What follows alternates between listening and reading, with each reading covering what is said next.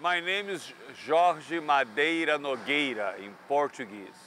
In English will be George Madeira Nogueira. I am from Brazil.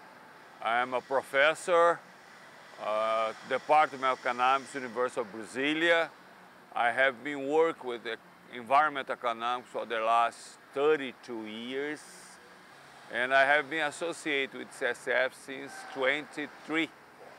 After a few years of investigation, I decided to go to college to study economics. I thought it was for me the social science that would deal with all the things that I was interested at that time when I was 17, 16 to 17 years of age.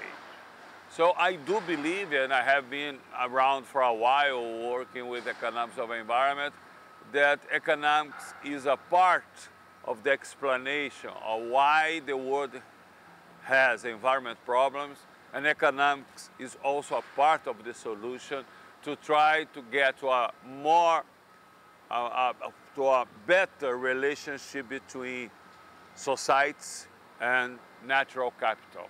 To be inside the CSF course is one of the best moments of the year for me uh, because I am talking to people who ideologically think close to me, but they are not economists.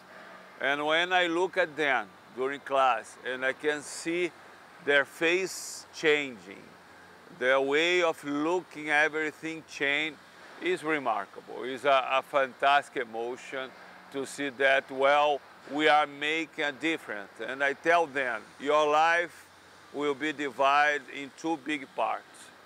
Before the CSF course and after the CSF course.